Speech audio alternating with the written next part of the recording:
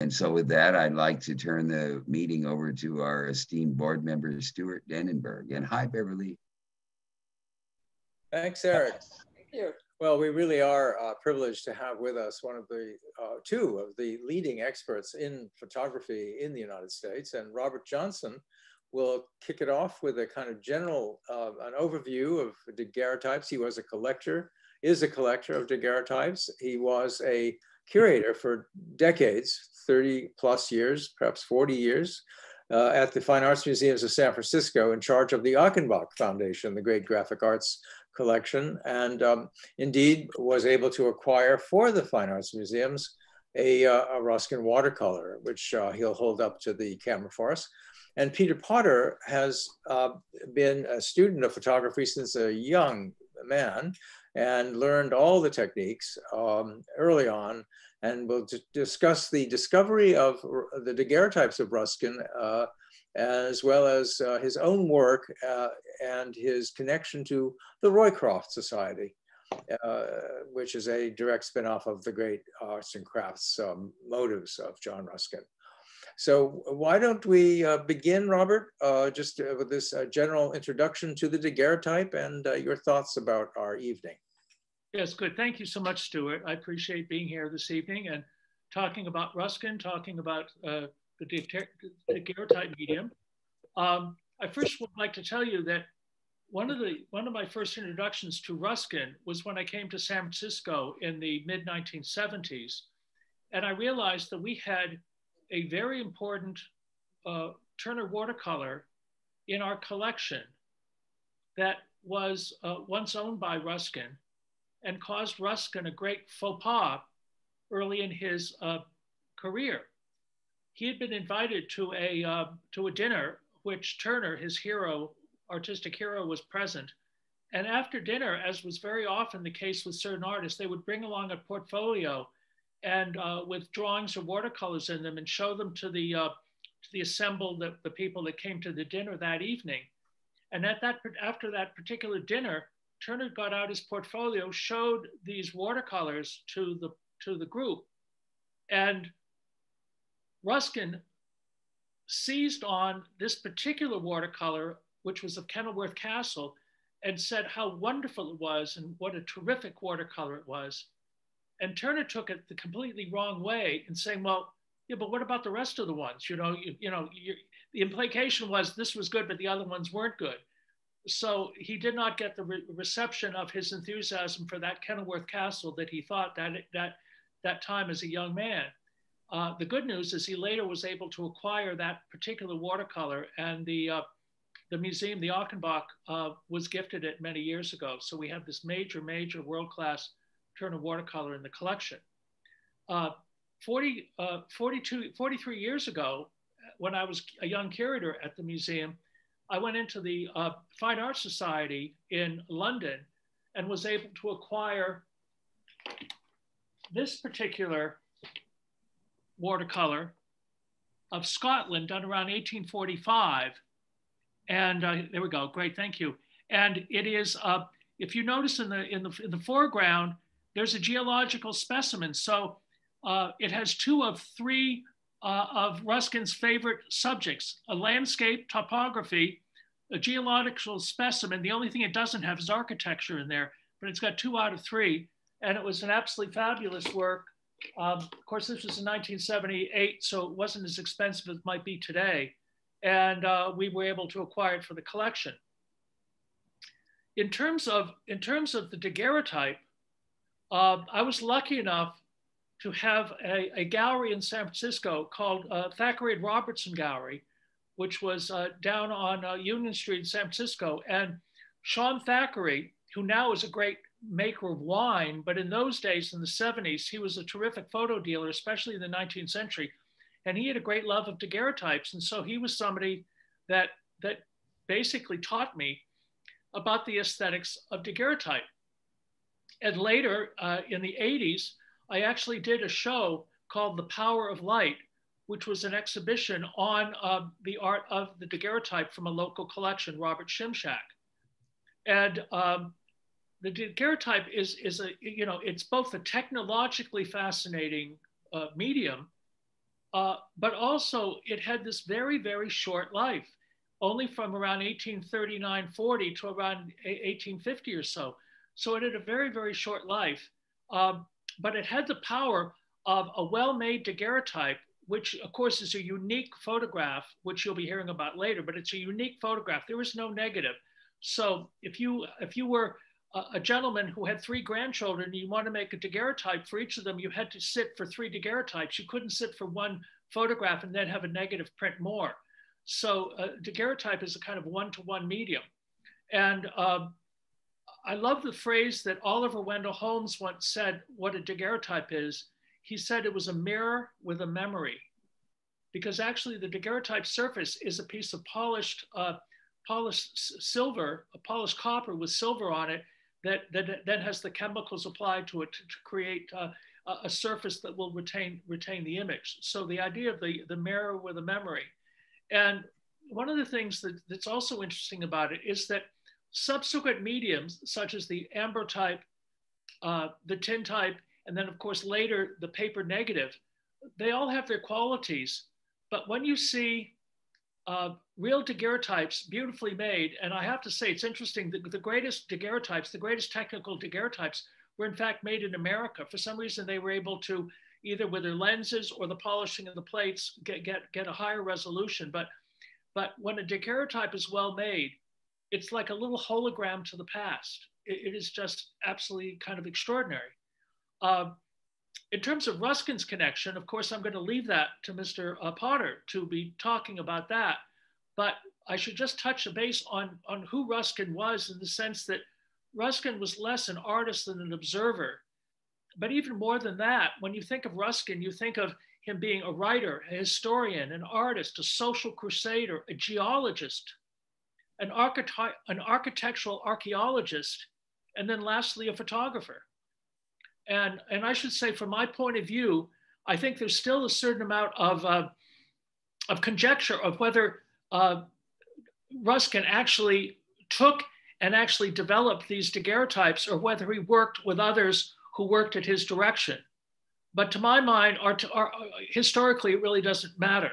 The fact is that the vision of this extraordinary group of daguerreotypes that we knew existed somewhere that only turned up, I think, like in the last 10 years or eight years, and very, very recently turned up in England to the credit of uh, my friend uh, Kenny Jacobson, who, who found them and bought them. Uh, they're clearly Ruskin's vision. There, there's no interceder. Th those are Ruskin's images. Th those, are, those are the images that Ruskin needed. And in a way, I was thinking about them the other day, and I was thinking that they're basically the visual equivalent of a tape recorder for Ruskin. They was way to retain visually that which he could, couldn't do on the spot. He couldn't do the, all those extensive drawings he did over the years. Uh, and, and, uh, and he just couldn't do, do them on the spot. And he didn't want to go back to, to England uh, with just memories in his head. And this new invention that came along um, was, was a godsend to, to Ruskin's uh, methodology. Um, which then brings us to Mr. Potter. He is a photographer. I am not. I'm a curator but I'm fascinated to hear him tell us about the nature of the daguerreotype and how this interacted with Ruskin's vision as a person who delineated, who preserved, and who was an advocate for the uh, preservation and the restoration of Venice in the 19th century. So without further ado, Mr. Peter Potter to talk about the daguerreotypes of John Ruskin. So how Thank do we? You. Good. Thank you, Robert, Gabriel, yes. Stuart, and Eric. So nice to join you today. I'm going to get my screen share up here. Okay. Oh, I'm sorry, I had to sign out. So I, I need to uh, have the host to allow me to uh, screen share again.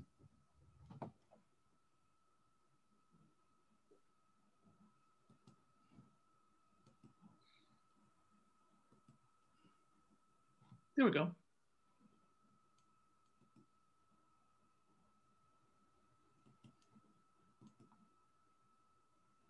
I, I still am unable to share my screen. We can see you. We can see you. I know, but I can't share my slideshow. Okay.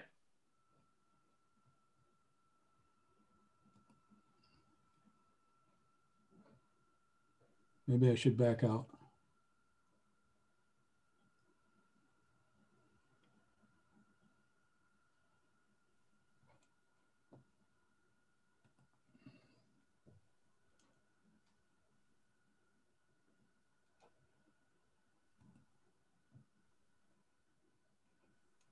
Have you been made host so you can share? Well, I was signed in as host, but then um, I lost my connection. And when I connected back up, I'm not, I'm not a host again. So I need to have host level security clearance.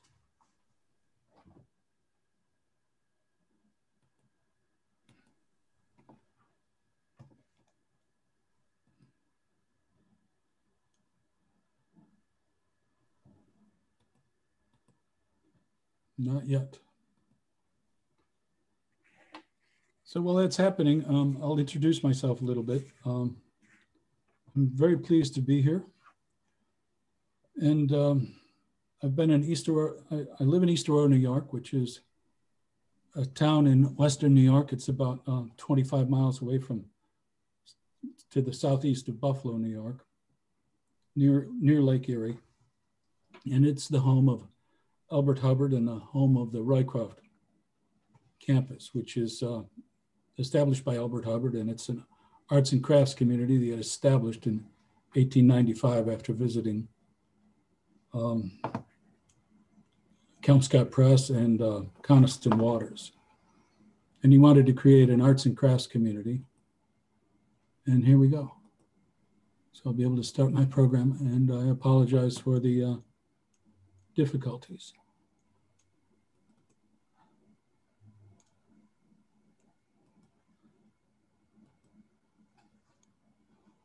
All right.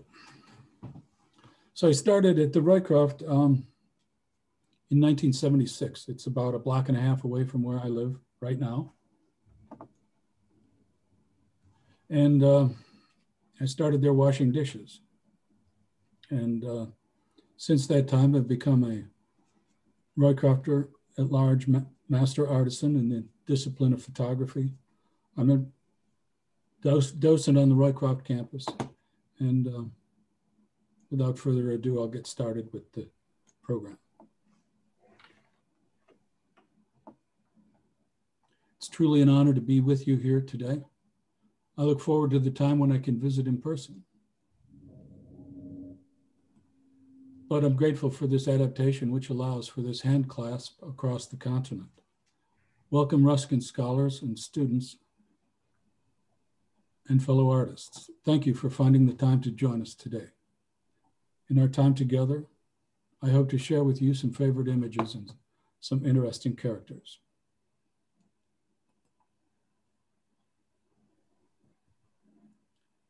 John Ruskin looking relaxed and content.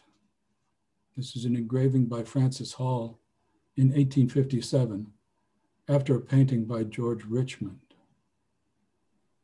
Of Ruskin's numerous artistic gifts, photography is likely the least known.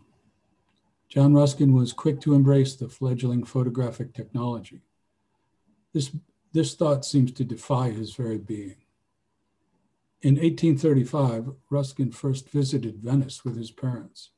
He would return 10 times, and on his 1845 trip, he purchased some daguerreotypes from a photographer identified as the Frenchman. Ruskin was, very, was very enthusiastic about the new technology. The daguerreotype process had only become widely available about three years prior. Ruskin purchased a quarter, quarter plate daguerreotype camera and returned to Venice to document ar architectural details. He made daguerreotypes with his valets, John Hobbs and Frederick Crawley, and with professional photographers Fortunato Lasagna, and the Cavalier Hilaire, also known as the Frenchman. Now a quarter plate daguerreotype, and Robert can correct me if I'm wrong, is about um, three and a quarter by four and a half inches. That's the size of the plate that would be produced from, the, from that camera. This is by the Frenchman. It's St. Mark's in the Piazza in Venice and it's a quarter plate daguerreotype from 1845. This quotes from uh, John Ruskin's letter to his father on October 7th, 1845. I have been lucky enough to get from a poor Frenchman here, said to be in distress, some most beautiful, though small, daguerreotypes of the palaces I have been trying to draw. And certainly daguerreotypes taken by this vivid sunlight are glorious things. It is very near the same as carrying off the palace itself. Every chip of stone and stain is there. And of course, there's no mistake about the proportions. I am very much delighted with these, and I'm going to have some more made of pet bits. It is a noble invention. Say what they will of it. And anyone who has worked and blundered and stammered, as I have for four days, and then sees the thing he has been trying to do so long in vain, done perfectly and faultlessly in half a minute, won't abuse it afterward.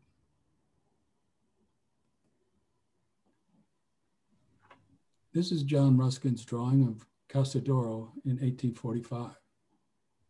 Ruskin used his daguerreotypes as an important resource for the stones of Venice. He felt the need to document the architectural treasures of the city before they were lost forever to careless and destructive restoration efforts. Ruskin felt precious time would be saved with the use of the daguerreotype camera, allowing him to capture more photographs of the structures before they were ruined. The urgency he felt is evidence in this from a letter he wrote to his father on September 23, 1845. What an unhappy day I spent yesterday before the Casa d'Oro, vainly attempting to draw it while the workmen were hammering it down before my face.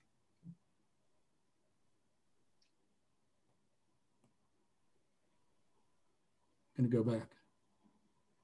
So it's very much the same. No, I'm sorry. John Ruskin's drawing, John Ruskin and John Hobbs, Venice, the Ducal Palace, southeast angle,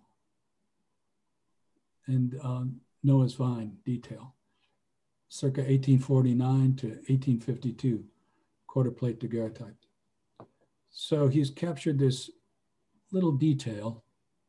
He and his valet have photographed it and uh, really done a great job of capturing the detail and the, the tones and the great hue and tones captured in that daguerreotype. And uh, you can see the shading and so forth and the beautiful carving.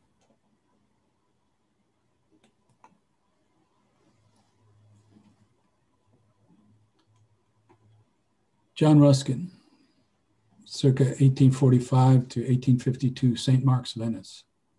In a letter home, October 15, 1845, Ruskin wrote more in praise of the daguerreotype. Among all the mechanical poison that this terrible 19th century has poured upon men, it has given us at any rate one antidote, the daguerreotype. It's a most blessed invention. That's what it is. Ruskin would hold contradictory stances on photographs through time. Photographic, Ken, photographic historian Ken Jacobson writes, he was often instantly and deeply drawn to them aesthetically and emotionally, berating himself for not being able to do as well with his brush. But inevitably, his more spiritual self would later reject them because he deemed them to be created by a machine. In Modern Painters 4, Ruskin criticized the technical shortcomings of the media, especially in underexposed shadows and overexposed highlight areas. Quoting, photography either exaggerates shadows or loses detail in the lights, and in many ways, misses certain of the subtleties of natural effect, which are often the things that Turner has chiefly aimed at, while it renders subtleties of form which no human hand could achieve.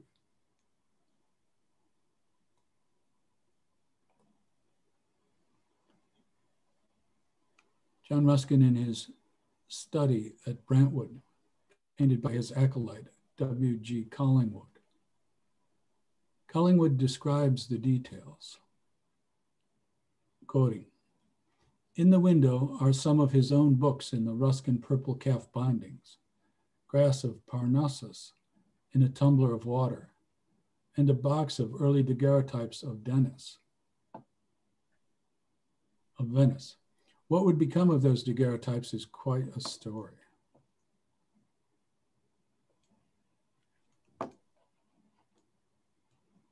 To point out there's the glass, there is the uh, grass of Parnassus, and there are the books in the purple calf bindings. And here, sort of obscured by the cat's chair and the curtain, is a red box. You can just see the corner right here. And there's sort of a brass handle that we see right there.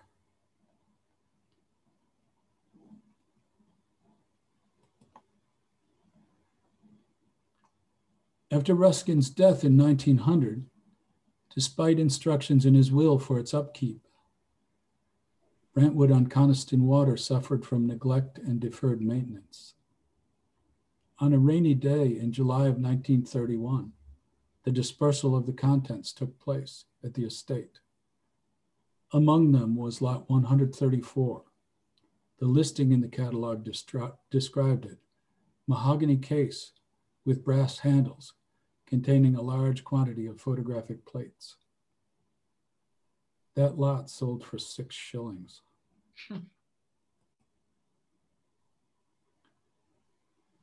so this is um, from auctioneers, farmers and Kent, farmers and Kidd, and it happened to be called lot 132.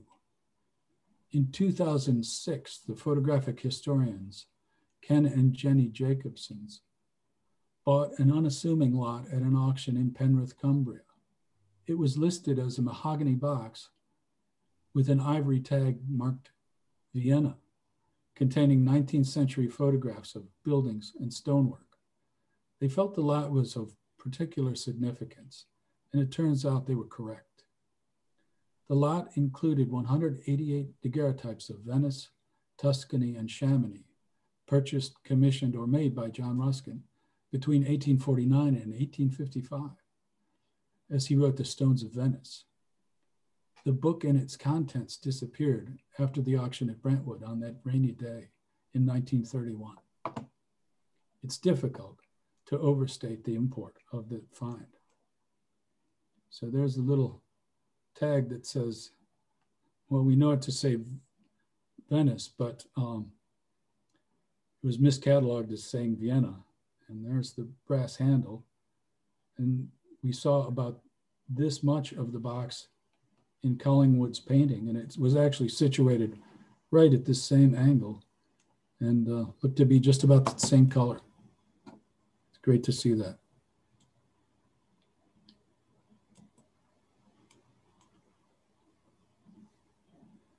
Ken and Jenny Jacobson wrote a book about their experience called Carrying Off the Palaces.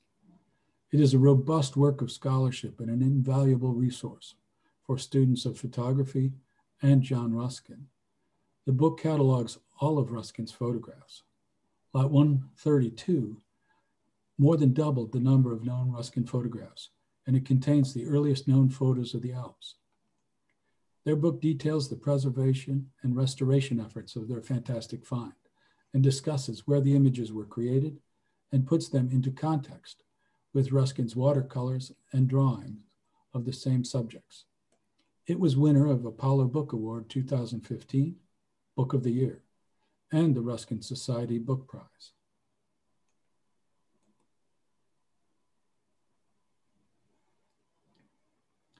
Documentary photography came into its own in the United States in the mid 19th century. This man was photographed aboard the USS Montauk in front of the gun turret.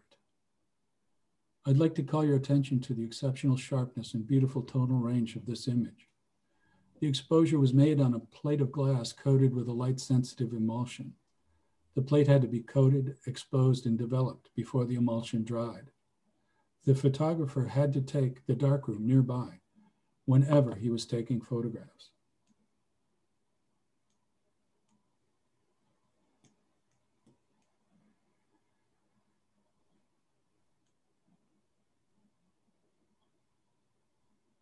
Also aboard the USS Montauk that day was the body of John Wilkes Booth and several other conspirators involved in the events connected to the assassination of President Lincoln. They were awaiting trial. The subject of this photograph is Lewis Payne, also known as Lewis Powell, who was to be convicted of the attempted assassination of William H. Seward, Secretary of State. The subject of this photo sat perfectly still for approximately 15 seconds during exposure. Not even a hair moved. The only thing that betrays any movement is Payne's eyelid. Alexander Gardner was the photographer. I, I just find this photograph very compelling.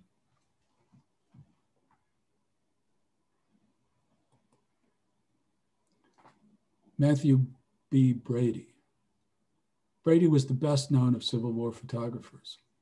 He learned daguerreotype photography from the inventor of the telegraph, Samuel F.B. Morse. He worked with Alexander Gardner, George Barnard, and Timothy O'Sullivan.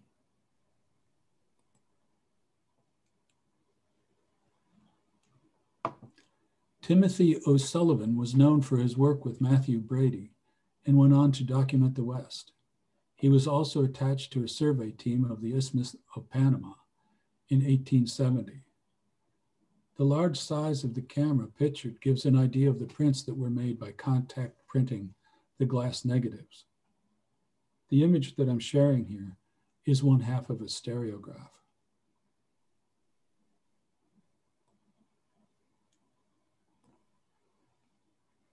So this is an example of one of the very, very first, at the very dawn of art photography. And it's by Henry Peach Robinson. He was a pioneer in fine art photography.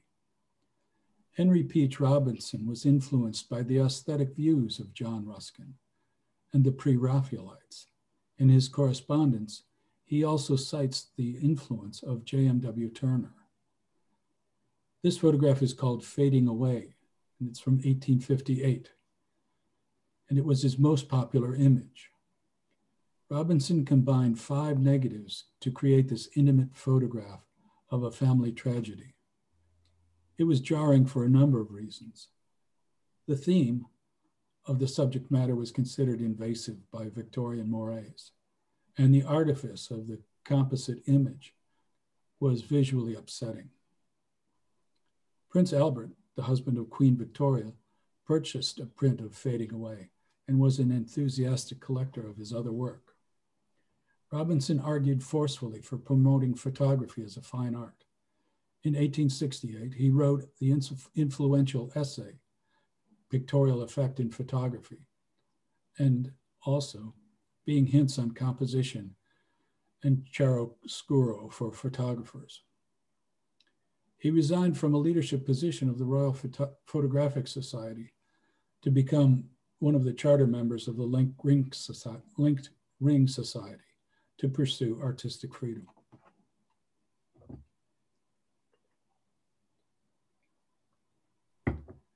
This is called Ricking the Reeds by Dr. Peter Henry Emerson. It's a platinum print, 1880, 1886. Born in Cuba, Peter Henry Emerson documented agrarian and coastal life in East Anglia.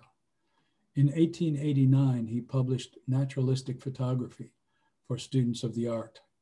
In this book, he advocated for photography as a fine art and that photographers look to nature for inspiration. He introduced the comp compositional device of selective focus. He railed against composite photography composite photography as practiced by Henry Peach Robinson. He was to inspire Alfred Stieglitz and the photo secessionists and the photo pictorialists. So we can see here, you know, the, the, the focus of this is right in here. And then as we trail off into the distance, the background just sort of fades away in focus as opposed to as opposed to uh, the pr previous print by uh, Henry Peach Robinson, which everything is in uh, stark, fo stark focus. This is my photograph from May of 2017. It's the Ruskin Room at the what is now the Roycroft Inn in East Aurora, New York. Atop the tower addition to the original print shop, the Ruskin Room has served as a workspace for illuminating books and office and guest accommodations throughout the years. Elbert Hubbard visited England in 1894, and he was inspired by the thriving arts and crafts movement and visited the homes of many authors, philosophers, poets, and artists, most notably Ruskin's Brantwood on Coniston Water, William Wordsworth grave 11 miles from Brantwood at St. Oswald's in Grasmere, and William Morris's Kelmscott Press.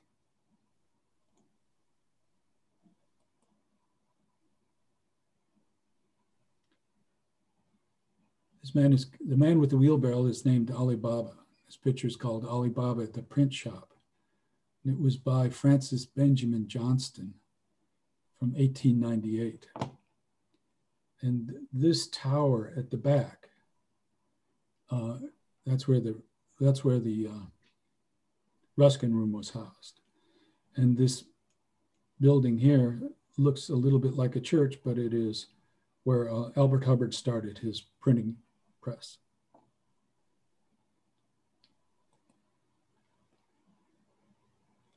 This is um, Frances Benjamin Johnston, Johnston herself, and uh, the photograph is called New Woman.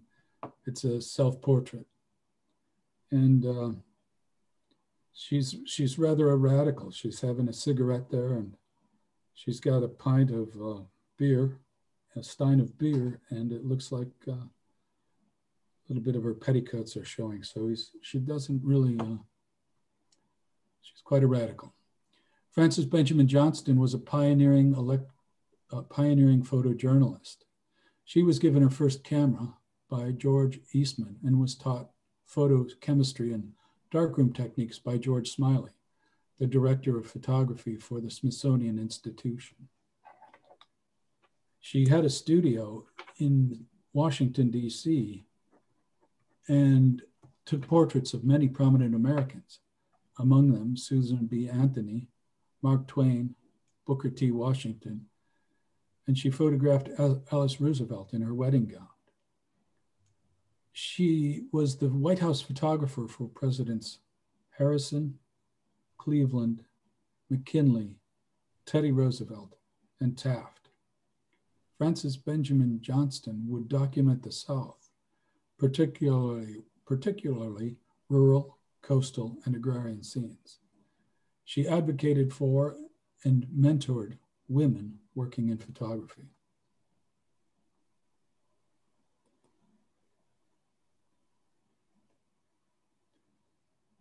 This is my photograph of the lounge at the Roycroft Inn, which was um, originally the print shop. This is where the, um, the, the printing was actually done in the basement of this building.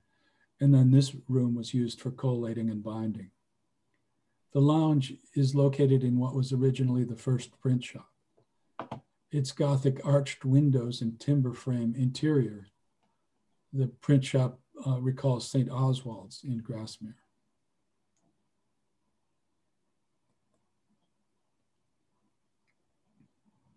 This is the door of, in the salon of the Roycroft Inn. My photograph from August 2020 in the background, you can see uh, parts of a mural that uh, are panoramic around this whole room uh, by the painter Alex Fournier. Ruskin's quote, fine art is that in which the hand, the head, and the heart of a man go together, is distilled to three words in this carving.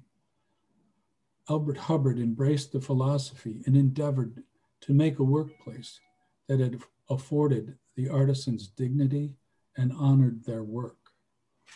The Roycroft shops became a place where workers were encouraged to expand their skills and were mentored. They were given 45 minutes each day to learn to play a musical instrument. They were allowed to work on uh, uh, learning other crafts and skills and to advance within their own departments. men and women received equal pay.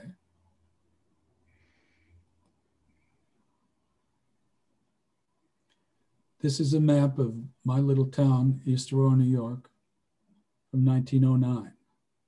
The Roycroft was growing at the corner of South Grove and Main Street. And going to take a look here. I'll point that out. So here's Main, whoops. Sorry. Here's Main Street and this is South Grove. Here's where the, this is the new print shop. This is what's called the chapel. All on the Roycroft campus. The Roycroft Inn is right here. And this is where the powerhouse would eventually be built. So all this area here is the Roycroft campus. And it, it's located right at this intersection. It's um, the architecture is largely um, half timber and wattle, and it looks um, Tudor. This is the door to the Roycroft Chapel, and it's, it's not a religious chapel. It's more the thought that it's a um, guild house for printers. And the chapel was built in 1899. It's my photograph from October 13th, 2020 and it's inscribed uh, with the following quotation Life without industry is guilt, and industry without art is brutality. And many following along today will recognize that from John, Rusker, John Ruskin's third lecture on art from 1870. So Elbert Hubbard's Roycroft was not only at the corner of Main and South Grove, it was also situated at the junction of industry and art.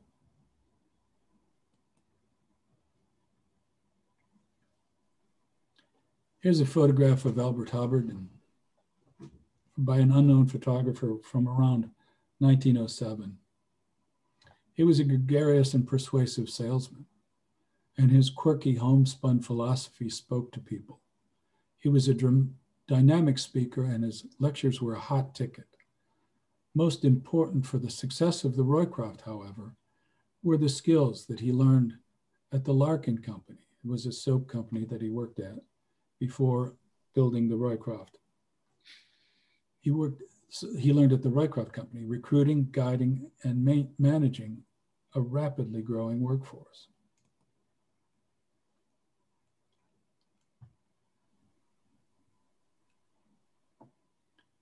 This is the north door of the second print shop, my photograph from September 16th, 2016. This motto by the Scottish writer Thomas Carlyle embodies the goal Hubbard had for the Roycroft shops. Blessed is that man who has found his work.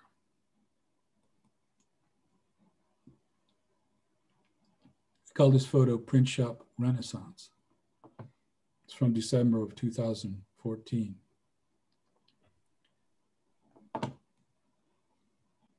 With the chapel at the left, and this double R mark is the Roycroft Renaissance mark of the Roycrofters at large. The second print shop and the shipping department. Prospective artists who apply to become Roycroft Renaissance artisans present four pieces of work to a jury of master artisans. That work is judged on five criteria high quality hand craftsmanship, excellence of design, originality of expression, professional recognition, and artistic growth. If the prospective artist meets the criteria, they may use the mark on their original work artisans must rejury each year.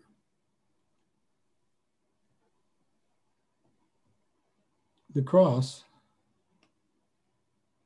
at the top of the mark symbolizes the tree of life, with the branches on the left pointing to our history and those on the right pointing to our future.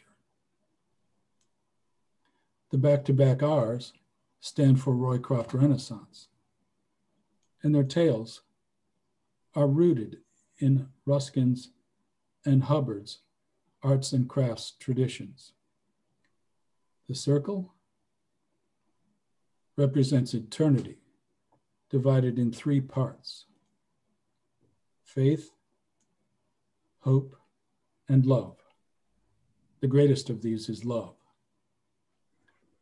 This is the Phalanstery, East Aurora, New York, by Leighton Elton Huffman, June 1907. In this picture are Elbert Hubbard, Alice Hubbard, Miriam Hubbard, their daughter,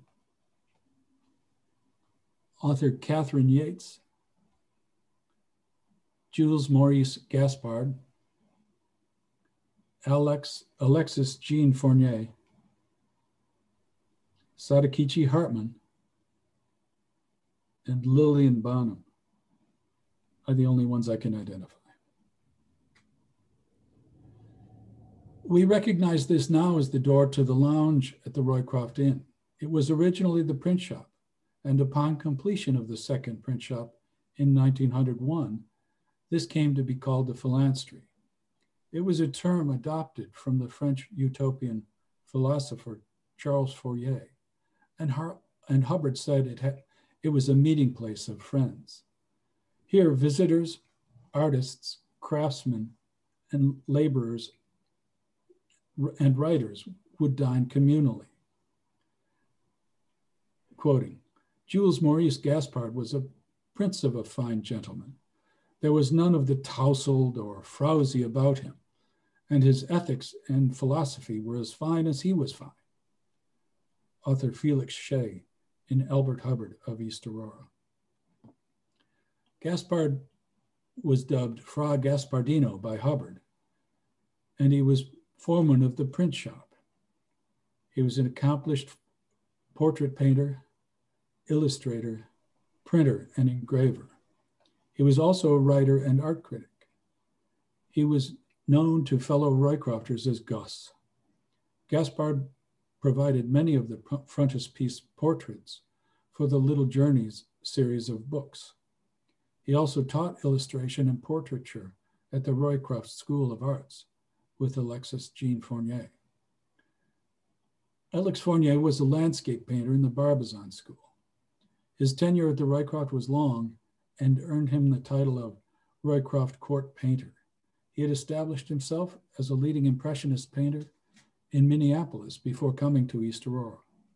He is considered to be one of the most prolific and influential painters of the arts and crafts era.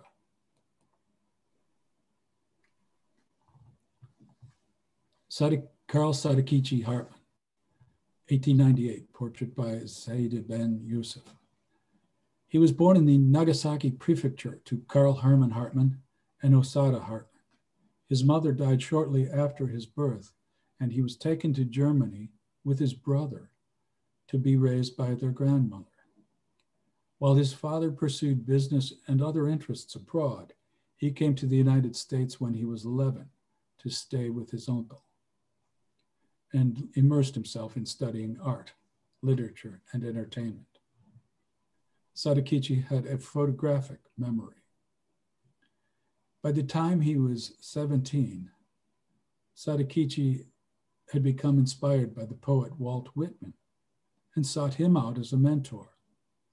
He visited Whitman and would work for him and would come to work for him as a translator for some foreign correspondence. Sadakichi could read, write, and speak English, French, and German, but not Japanese, which was his mother's tongue. The two men would remain close until Whitman's death in 1892. Sadakichi Hartmann is thought to have written the first haikus in the English language. He cited his elder friend as a major influence and inspiration. Quoting, Walt Whitman, I do not call thee master, but I am bound to thee forever. Thy works were to me, except love and nature, the grandest lessons of my life. In 1885, Hartmann left for Germany to explore its art galleries and museums. He studied art and literature in Munich, Berlin, Brussels, and Paris, and worked as a stage apprentice at the Royal Theatre in Munich. He used this time to study all aspects of the theater, as well as ballet. He wrote well, he wrote a well-received biography of the painter James Whistler, and also found work writing art and dance critiques for periodicals. Sadakichi was well served by his great memory, deep knowledge, deep knowledge of art, and command of the English language. He tried his hand at theatrical production with an avant-garde multimedia presentation that featured slide projection, music, motion picture clips, and fragrances. For some reason, it was not commercially successful. Sadakichi was known for his wild, improvisational dances. He would dance even in his later years, according to a witness at a Hollywood party in the 1930s. He danced like a graceful whirling dervish. Isadora Duncan was said to have been influenced by his dancing. He envisioned composers creating pieces of electromagnetic music whose vibrations do not simulate orchestral instruments but open up horizonless vistas of pure sound, which seems to have foretold a synthesizer. This is just a beautiful portrait. And uh, I've got another photograph by, by uh, Zaida Ben Yusuf. And it's a portrait of Elbert Hubbard uh, by, as I said, Zaida Ben Yusuf. And she was a, um, she was, a, well, it was a woman. Not that I would know that Zaida is a woman's name, but um, Hubbard, some, for some, and I love this photograph also, it shares the same sort of tonal quality and beauty as, as the uh, previous um, photograph of Sadakichi. But um, she gifted this, yeah, I mean, Hubbard gifted this photograph to uh, uh, Frances Benjamin Johnston, who did some work at the Roycroft that we looked at earlier. Um, but I don't think Hubbard ever met a photographer he didn't like.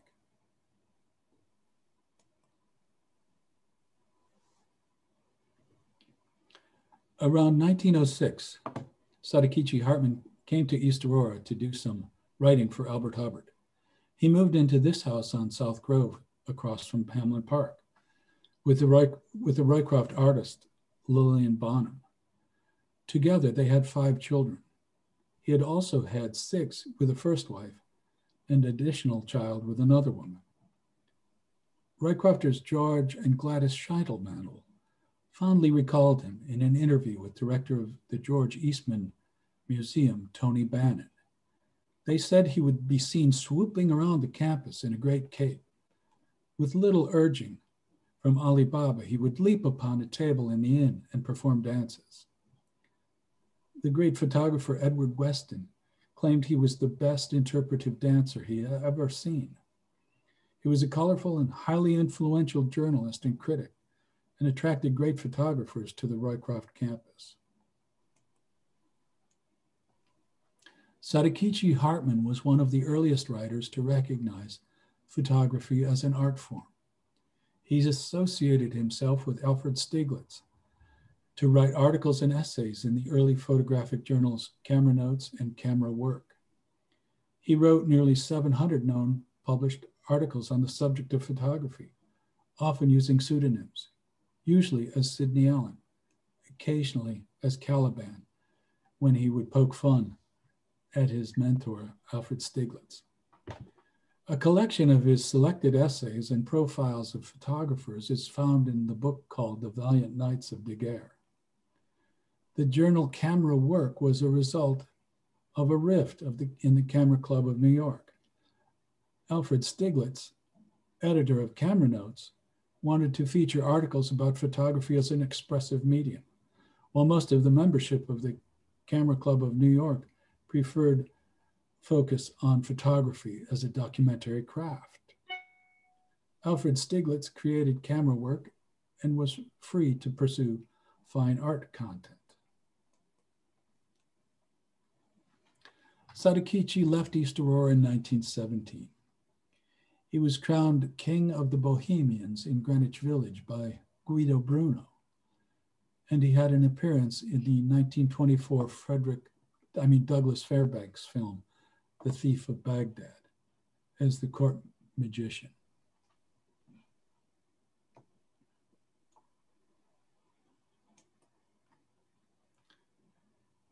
The portrait of Sadakichi by the painter Ben Berlin, 1934. Oh, to be Sadakichi. Oh, to squeeze every moment out of life and release some of the water from that overflowing well of ideas, incessantly needing to be expressed. Ezra Pound.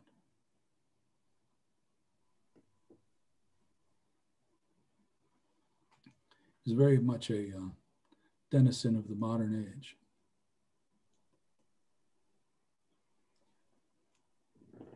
This is called, this is a composition called The Floating Rose. The photographer is Clara Sipprell. And Clara Sipprell exhibited her first photos with the Buffalo Camera Club in 1910. Although it was closed to women at the time, but because her brother was a member, she was allowed to participate in the exhibition. She won second prize for one of her portraits. Although she couldn't become a member, she was able to continue exhibiting in the annual shows. And in 1913, she won six prizes, surpassing any of the club's rostered mem members. And I just, I just love this photograph. It uh, just everything is right about it.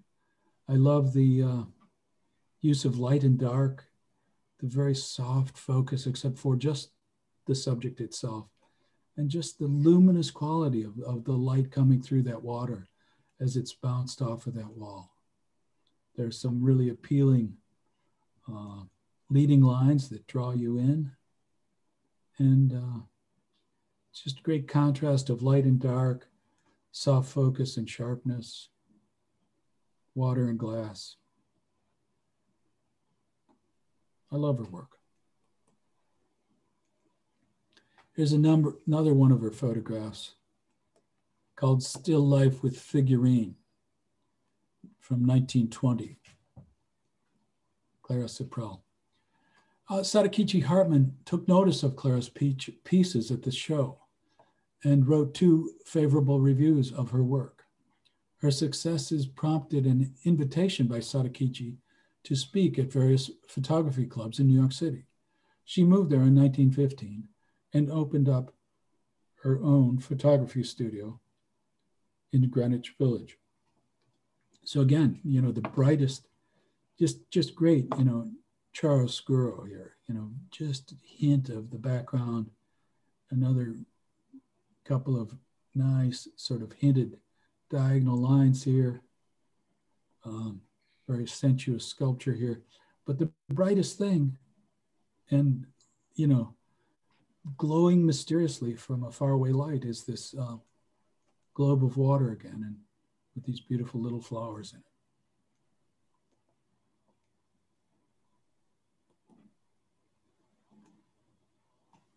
This young man is Paul Fournier, and this is a self portrait from 1905. And Paul was the son of that great painter, Alex Fournier. He was a, he was a, a photo pictorialist. And uh, we can see uh, Paul's iconic Roycrofter tie here, this big floppy tie. And perhaps uh, this is one of the columns at the end of the Roycroft campus perimeter wall. It would be at the corner at that intersection of South Grove and Main Street in the village of East Aurora. Alfred Stieglitz, photographed by Edward Steichen, 1915 at Gallery 291. The little galleries of the photo secession at 291 Fifth Avenue, New York City, was created and managed by Alfred Stieglitz. The gallery was crucial in getting photography acknowledgement as a fine art by exhibiting the work of photographers, including Edward Steichen, Alvin Langdon Coburn, Gertrude Kasebier, F. Holland Day, and Clarence H. White. The photo secession was formed to establish photography as a fine art, upending the traditional belief that it was a documentary craft. The prevailing aesthetic of the photo secession was called photopictorialism.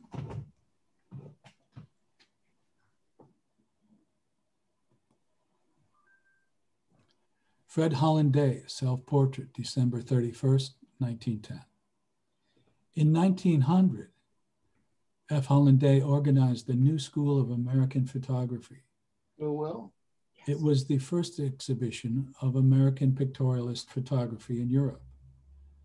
It was held in London and Paris, and the show featured his own photographs, as well as works by Edward Steichen, Gertrude Kasebier, and Clarence White. Alfred Stieglitz included Day's photographs and writings in the early journal camera notes, but he was never able to persuade him to become an official member of the photo secession.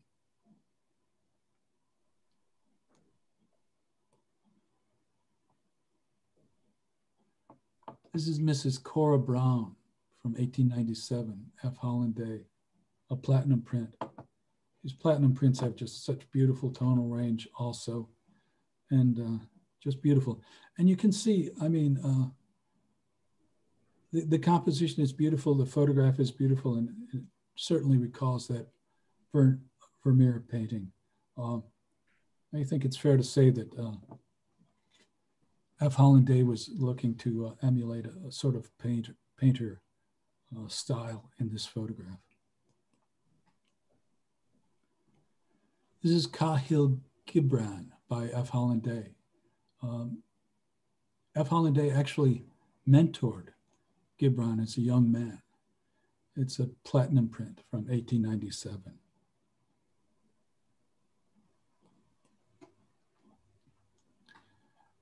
Edward Steichen, Self Portrait, 1903. Edward Jean Steichen was a modernist, painter, photographer, and museum curator at Museum of Modern Art. Although the chiaroscuro and evident brushstrokes suggest a painting, there is a result of the gum bichromate printing process. Steichen advanced the photosecessionist cause through photographs like this, as well as exhibitions and the publication camera work that resulted from his collaboration with close friend Alfred Stieglitz. Steichen's photographs frequently appeared in camera work during its publication from 1903 to 1917. With his colleague Stieglitz, Steichen opened the little galleries of the photo secession, which eventually became known as 291, its street number, in 1905. Steichen and Stieglitz promoted photographers and other modern artists, while apprising artists of the latest developments in early 20th century European modernism, including the works of Auguste, Rodin, Pablo Picasso, Constantin Brancusi, and Francis Picabia. Picabia. So you can actually see the brushstrokes. And the pigment is actually fixed onto a gum bichromate print with like a stenciling brush. Uh, the, the when the print is developed, um, there's hardly any contrast on it at all. But um, the pigment is worked into it with a brush, and that's where you get this uh, these great brush strokes. And no doubt, no doubt here of uh, the photographer's intent in emulating painting. This is a photograph entitled Aurora, 1916, and it's by Wilbur Herber Porterfield, and it's a local scene, but I don't know where it was taken. Porterfield gained an international reputation for his style of photography that often portrayed Western, the Western New York landscape. His photographs regularly appeared in the Sunday rotogravure insert in the Courier Express in a popular feature called As Porterfield Sees It. Wilbur H. Porterfield was the founder of the photo pictorialists of Buffalo. As with the linked ring in England and the photo secessionists of New York City, their goal was to elevate photography as a fine art. The members explored the technical, thematic, and aesthetic boundaries of the photographic medium. The photo secessionists and the photo pictorialists of Buffalo faced a challenge overcoming public perceptions of photography. By the earliest 20th century, photographs had been used for documentation for almost 50 years. Photography was burdened by what Anthony Bannon called in his essay, The Photo Pictorialists of Buffalo, the albatross of fact. I love that phrase.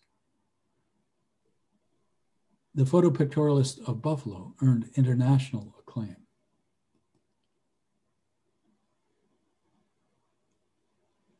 Venice Canal Scene, circa 1908, by Charlotte Spalding Albright. Charlotte Spalding studied photography with Edward Steichen and became a member of the famous Photo Secession, a group of American photographers led by Alfred Stieglitz. Charlotte Spalding was born in Buffalo and married Langdon Albright, son of J.J. Albright, who was benefactor of the Albright Gallery, Albright Art Gallery. This is just a dreamy, dreamy scene, and I, I just love it. Every time I look at it, I'm, I'm more and more drawn to it at first I, I didn't like its indistinct appearance, but uh, it just draws you in. The, the, leading lines make you want to go down that canal. And uh, just the tones and the subtle shading just really cap- captivate me.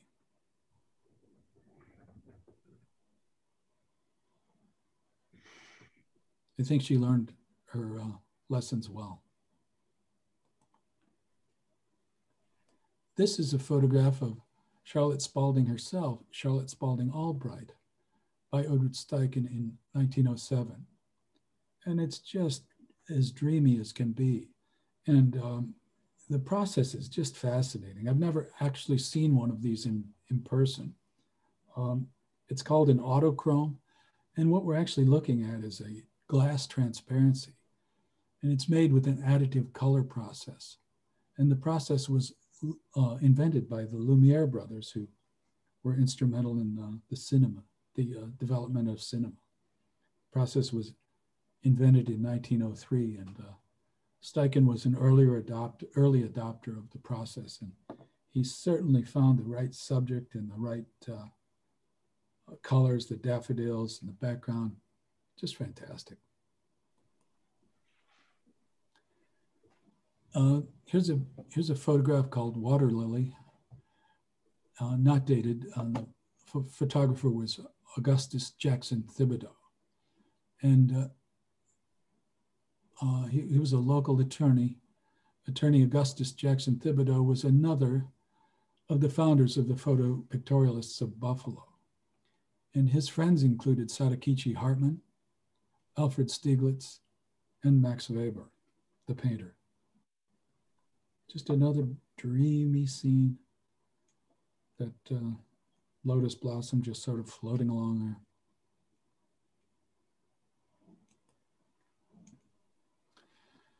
This catalog was published on the occasion of the International Exhibition of Pictorial Photography, which was on view at the Albright Art Gallery from November 3rd to December 1st, 1910. The initial development of the 1910 International Exhibit of Pictorial Photography began after the enthusiastic reception of an exhibition of local photographers, the Photopictorialists of Buffalo, which closed at the Albright Art Gallery on October 2, 1907. The following spring, Dr. Charles M. Kurtz, the first director of the Albright Art Gallery, visited Stieglitz and Steichen at the little galleries of the photo secession. Their intention was to discuss another exhibition, one of international scale. And Kurtz requested the aid of both the photographers, of both the photo pictorialists of Buffalo and the photo secession in organizing the exhibition. The exhibition was brilliantly installed by the painter Max Weber, who transformed the most beautiful gallery in America, as Stieglitz once called the museum, into an intimate space for the viewing and understanding of contemporary photography. In total, Stieglitz's Buffalo show introduced the museum's audience to more than 600 photographs by 65 artists. It is generally recognized as the first international exhibition of fine art photography. We'll have a look at three images from that Albright Gal Art Gallery International Exhibition of Pictorial Photographers, starting with uh, Still Life by Heinrich Kühn. He was a German. Photograph from 1908, a gum bichromate print, image size six and three quarters by nine. And again, you can see that gum bi bichromate uh, technique with the brush strokes, swooping in there and depositing that pigment. And uh, great light play on the uh, on the round forms. This is a photograph by Alfred Stieglitz, The Street, Fifth Avenue, 1896. It's actually a photogravure. The image area is 12 by 9 and 1 8 inches. Um, weather was often a rain, snow, or fog. Stieglitz often pictured that in his um, pictures from his pictorial um, era and uh, features strongly in giving a great atmospheric look to the to the uh, photograph. This is by James Craig Annan. He was Scottish, and it's entitled Lombardy Plowing Team from 1894. It's a carbon print and the image size is four and a half inches by ten and a half inches. I thank you for your attention tonight, this afternoon. I hope you have enjoyed the images I've shared and found the characters in my story interesting. I will close with one of my new photographs from Biltmore House in Asheville, North Carolina. I call it the Loggia. And I'll be happy to answer any questions.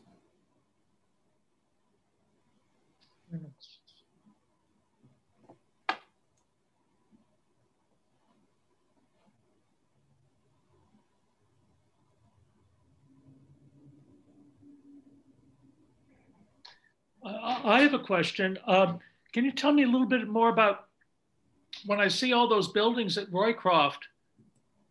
You have this feeling that somebody had some money there. That was was was he was he a wealthy man or did he have wealthy supporters? That's a great question.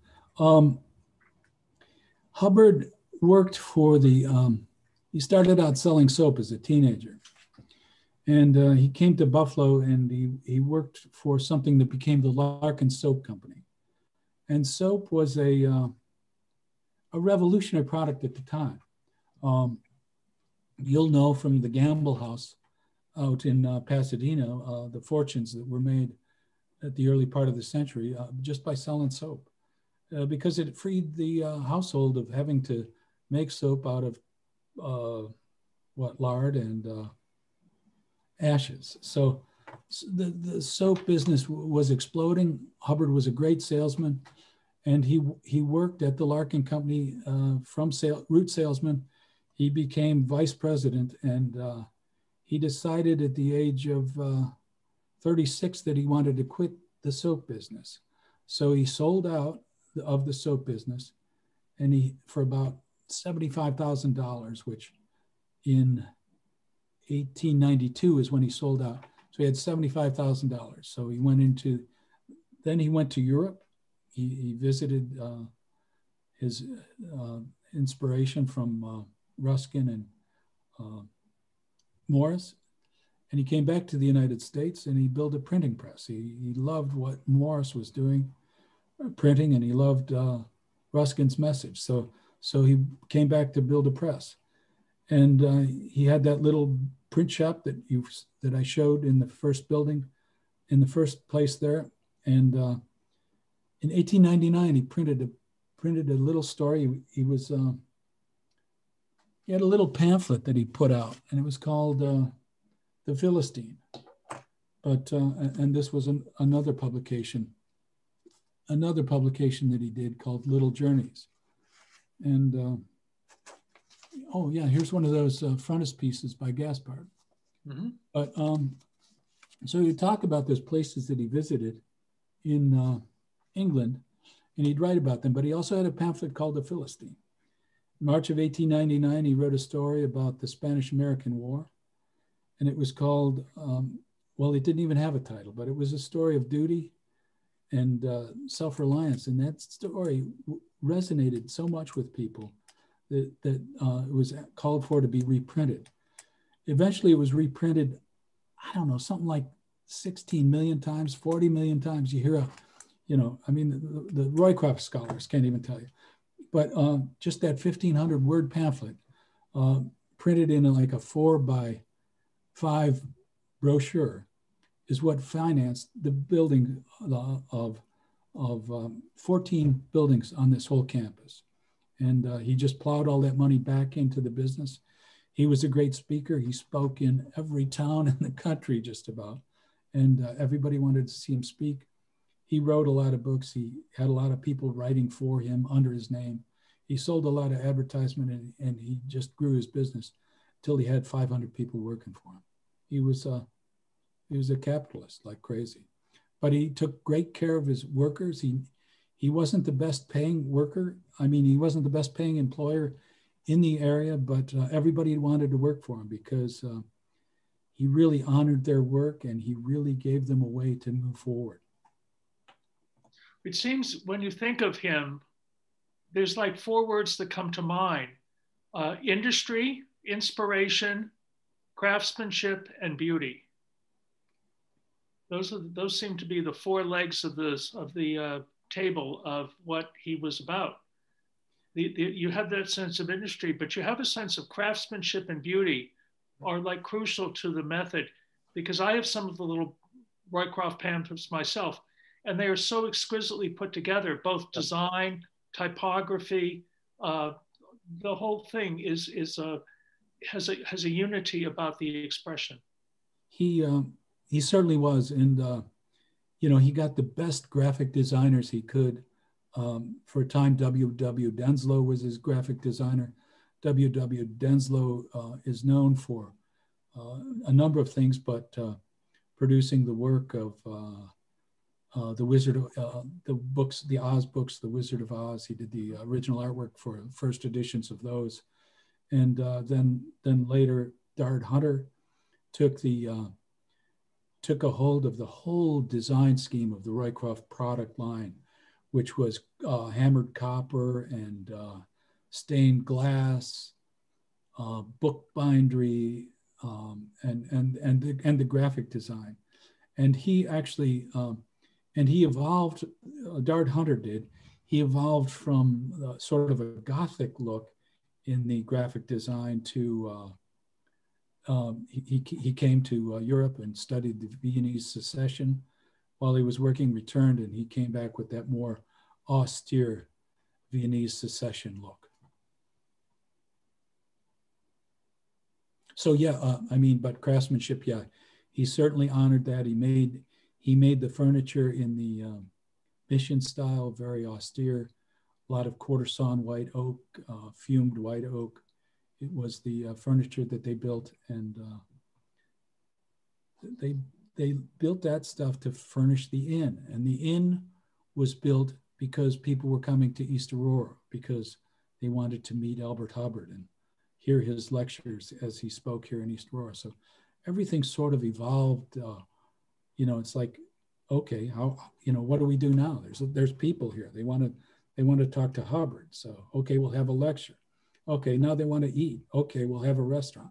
So just uh, everything grew so quickly. But um, while he worked at the Larkin Soap Company, that business was growing very quickly. So he he realized he needed to manage that and get ahead of it. So that was his industry, and he cultivated uh, great craftsmen to work for him. And uh, he had the craftsmen. Uh, well, he had the artists mentor the artisans. He had the artisans mentor the craftsmen, and he had the craftsmen mentoring the laborers. So uh, he had a progression of throughout the uh, business to, to, to maintain that growth. He was a great manager of, of labor. Um, Peter, it is wonderful. The photography was just out of this world. And I just, are you, uh, are you in East Aurora now? Yes, I live in East Aurora. Okay, because um, both you and I are from Buffalo. Oh, really? And I'm totally fascinated by this. So this, the Roycroft still exists there? The Roycroft, you know, I, have I've lived in East Aurora um, all my life, thus far, hmm. and uh, uh, the Roycroft has never looked better. Uh, well, yeah. next time we can go to Buffalo. I've still got relatives there. You, you come, there. you come and give me a shot. I'll give you a tour of the campus. Yeah. I love it. I really would. Yeah. And I'm a photographer as well. And uh, congratulations on your photography. It's beautiful. Thank you. I wanted to know if you're working in digital or, or not. I am, yes. I do a lot of uh, um, post-processing editing, mm -hmm. but um, I, I, gave this talk um, earlier this fall, and uh, one of one of my uh, Roycroft master artisans was along on that talk, and she asked she asked me, did I did I ever do anything with that gum bichromate process? And uh, I'm very fascinated by it, and I'm studying it, and uh, I'm going to start using it because there's a great way that you can uh, you can produce a large negative with with uh, digital processing. Yes. And then you can uh, contact print that uh, with the photo with the bichromate process. And so I'm very excited about trying that. That would be wonderful. Yeah. Make beautiful prints. Yeah. And super, super um, permanent. Uh, they, they will last forever. You can leave them in the sunlight and they won't fade. Amazing. She just mentioned talking about uh, talking about permanence. You you showed that beautiful autochrome by by Steichen. Yes. And they are very beautiful. They, as a curator, I have to also point out, however, they are extremely delicate. Uh, you cannot you cannot put them on on display. When you see them in museums, they're usually reproductions. They were put into light boxes because they need backlighting. Yeah. And usually, when you see them in an exhibition, they are not the original. They are they are back they're backlit reproductions because they're just very very fugitive and too much light will completely fade them out and uh, destroy them. Yeah, I, I, I knew that they were very uh, ephemeral. Absolutely. Yeah. Peter, I've got a comment. I'd like to. Uh, you gave a wonderful talk as always, and as always, I learn a lot from looking at your wonderful selection of, of images. Um, so one of the things I think that you have done in this talk, which I found very, very enlightening and uplifting, was that you showed a progression of essentially uh, what Ruskin would have regarded as um, as photography as a record of the way things were into an art form. I thought your pictures did that very, very nicely. So I want to ask you a little bit more about that. So uh, certainly I recognize photography as an art form or an evolving art form. So my question really is that as, as the time went on in the, in the 20th century, how did photography evolve into an accepted art form as opposed to simply a recording process, which I think is what Ruskin really thought of it as eh, initially, and then and then it changed. Not really in his lifetime, but not long after he died. Yeah, not long after he died. I think it was evolving, you know, right near the end of his life, and it was by uh, those pioneers, those uh, photo pictorialists and the uh, the the ring in England and the uh, photo secessionists and uh, you know I think of uh, Stieglitz and Steichen as as the thought leaders in that whole process, and they just advocated for it. Uh, the the writer critic that crazy dancer Sadakichi um, he, did a great deal to further it and fix it as a, as a true art form. So I think both the, you know, and, and Ruskin's work as, a, as an art critic, you know, so, so much of that is, uh, you know, we, we when our work gets criticized, we love to hate the art critic, but I think um, the art critic also helps define the the uh, the medium, and I think that's uh, I think that's why I spend so much time on um, why I'm so fascinated by Sadakichi because I think um, he's one of the prime writers that helped advance the uh, the uh, craft to an art form. I hope uh. I, I, think of uh, Hubbard's uh, really adoration of Ruskin's phrase, "Fine art." You you cited it. Fine art. It happens when head, hand, and heart come together. Um, and I think his reservations about photography early on was that we photography was great. I mean, you could have head, and you could have could have heart, but it would be very hard to have hand in the process. So those early pictures you showed of St. Mark's in the 1850s, let's say, they're very beautiful and they give us a record of what it looked like back then. However, it's a, it's a snapshot, so to speak. It, there's not much hand in the issue. Is, is so uh, if you could comment uh, about the issue about hand in photography. Yeah, um, yeah, and and uh, as a digital photographer who had to uh, defend his work uh, as had hand, and heart uh, to become a, a, Roycroft artisan, uh, I will say that uh, there is hand, and here's where that comes in. Uh, in the in the composition, in the iterations that you make, in the editing process, and in the just where you position yourself and how you configure that photograph. That's that's how I did find that to be how you configure the camera, whether you uh, whether you're looking for a shallow depth of field to uh, selectively focus and highlight one thing, or whether you're looking for a, a composition that has a, a, a greater uh, depth of field and include more in the uh, subject matter. Well, Cartier-Bresson referred to it as the decisive moment. Um, you know the nature the nature of, of, of photography is that uh, is that it gives you limitless possibilities to click the shutter but the great photographers know when to click the shutter and as you said at what angle at what time of day at what exposure et cetera et cetera. So the idea that the camera is just simply this mechanism and one then demeans the result from the uh, from the person who uses it is uh, really beside the point because the great photographers take great photographs over and over and over again because they put all of those decision making that you talked about um, you know to to to to use. Just as you know when Cezanne said when I put my my brush to canvas I've made my like fifth decision. The medium the height the width the viewpoint the viewpoint you know? So all of those different things go into the painter but all of those things also go into the photographer just as you outlined. And uh, this idea that there's a mechanical uh, uh, mechanical uh, uh, device that you use is really beside the point. The point is you know how how how the uh, the image is made and as you said there's a there's tremendous amount of hand involved in photography if you really think about it Agreed. And another, uh, yeah, yeah, it's just uh, the camera's just another tool. It's just like a chisel or a Absolutely. paintbrush. No question.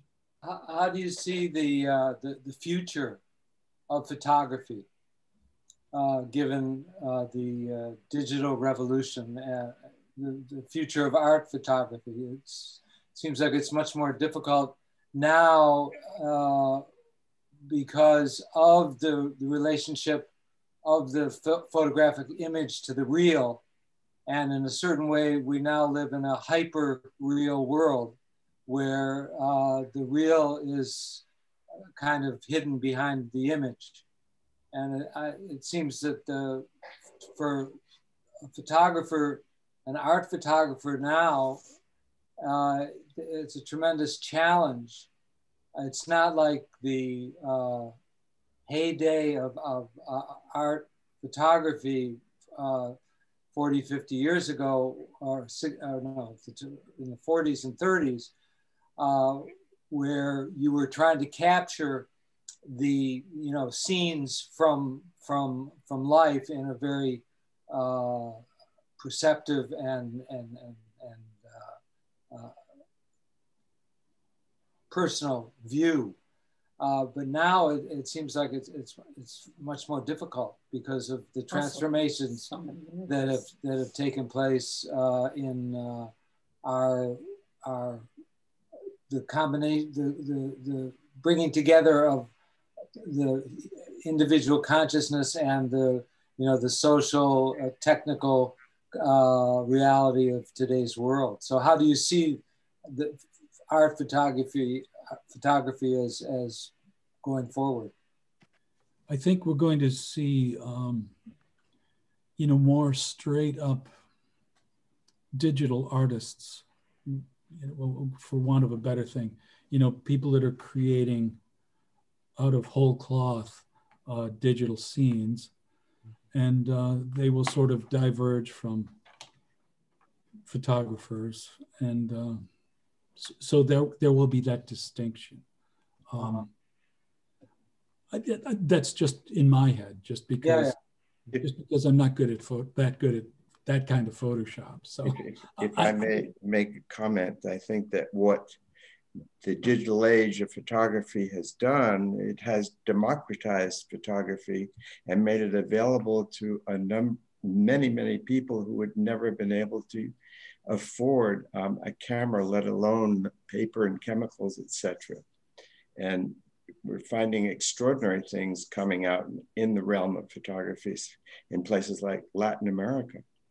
And uh, the inventiveness of imagery and uh, with now the whole um, technical apparatus and Photoshop and um, manipulating manipulation of images is, is just un, unheard of and unprecedented. So I think it's just a new age, if you want, from um, using a medium of capturing light, if you want to create an image.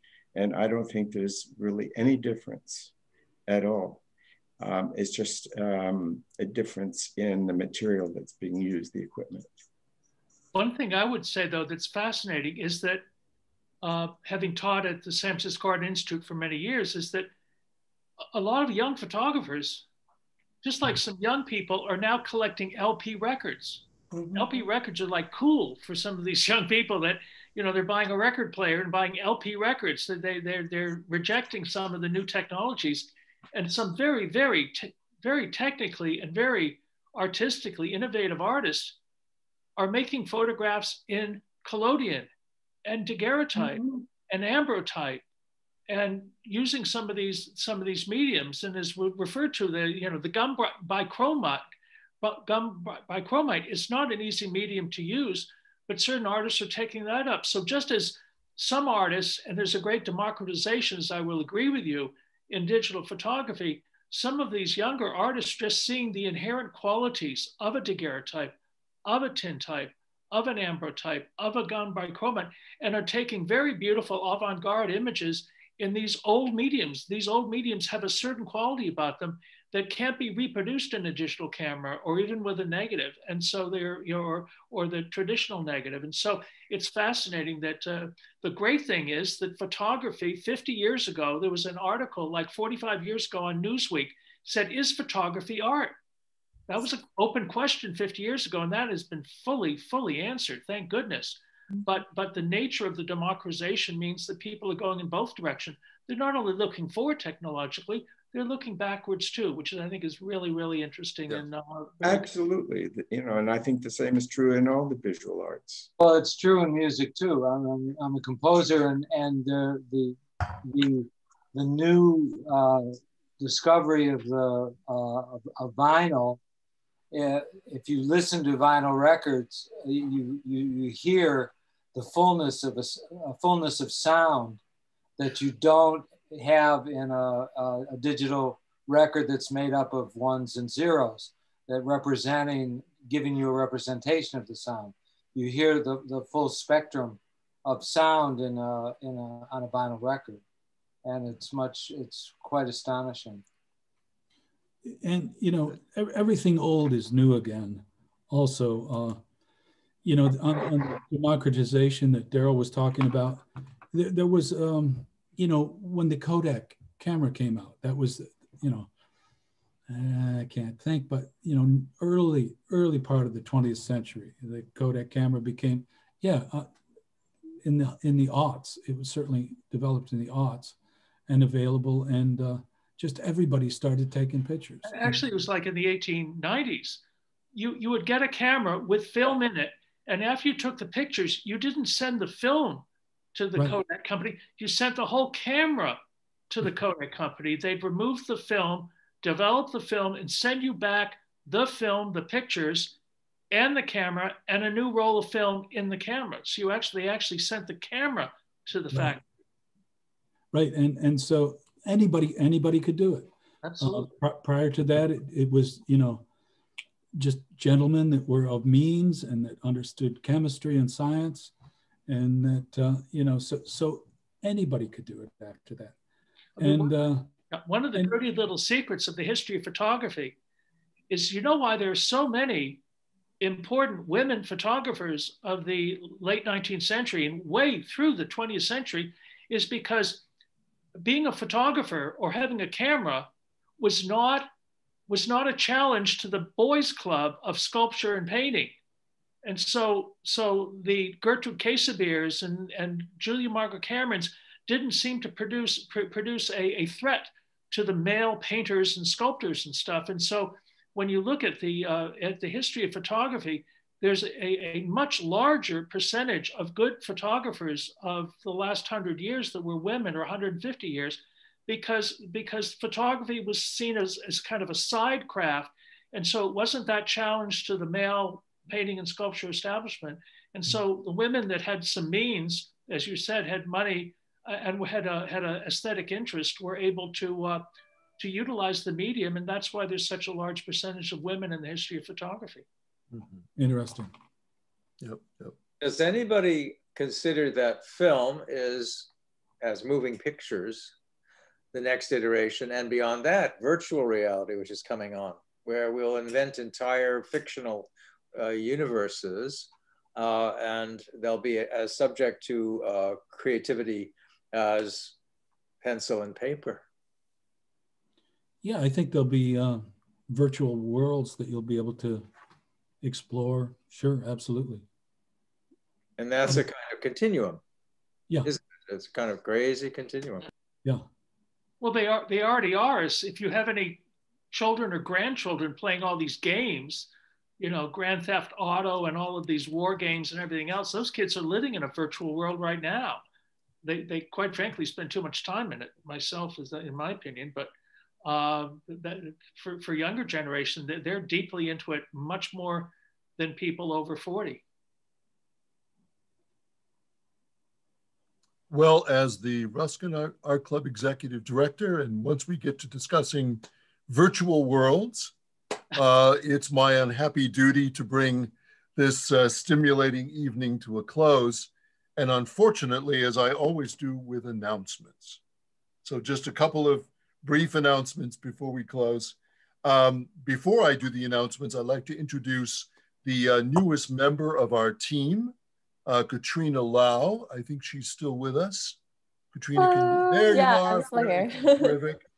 Our new programs management intern, who comes to us from the Pratt Institute in Brooklyn. Uh, she'll be assisting us in the next few months with our program planning and with the ongoing development of our website and other online platforms. And we're so very pleased that she, that she uh, has joined us. Upcoming events. Two weeks from tonight, we'll be back on Zoom with another lecture, this time from Ted Bosley, who I think has left us. Um, the executive director and CEO of the Gamble House, speaking of soap fortunes uh, the Gamble House Conservancy in Pasadena. Ted, a foremost scholar of the arts and crafts movement and the work of architects Greene and Greene, will speak to us about the influence, the little, uh, little remarked in a way, influence of the historic Swedenborgian Church in San Francisco, uh, built in 1895 and involving Bernard Maybeck, among others, on the development of the California version of the art of arts and crafts. Uh, we especially want you to save the date on Thursday, February the 11th, 5 p.m., all these events, uh, when we will host our annual Ruskin Birthday Bash. Uh, Ruskin's birthday is actually February 8th, but this is the closest we can get to it uh, schedule, schedule wise, and it promises to be a great and fun evening. We'll have a concert uh, from the Zelter Quartet from the Thornton School of Music at USC, who will give us a program of Haydn and Beethoven quartets, along with readings from Ruskin's work read by actresses Joanna Cassidy and Kathy Mazur. The evening will be uh, capped, I might add, by a special musical premiere. We think uh, it very well may be a US premiere. So uh, don't miss this. Uh, please visit our website at www.ruskinartclub.com for more information and details about the upcoming season. Uh, for those of you who have inquired about where you can access past lectures, particularly the 2020 series, uh, we have launched a new YouTube Ruskin Art Club channel. And you will find at least three, currently three of last fall's offerings there uh, at this moment, and we'll be posting more and more all the time. Uh, all you have to do is uh, actually just say Ruskin Art Club on YouTube, and it will bring you directly to the Ruskin Art Club channel, and you can also link on the website. This lecture, by the way, was recorded and will also be posted there as well. Our thanks to tonight's presenters, to Peter Potter and to Robert Johnson, and we'll see you all on the 28th. Thank you. Good night. Thank you very much. Very much, Gabriel. Good night, everyone. Yeah, very nice. Very nice. Great to see you, Jim. Great to see you.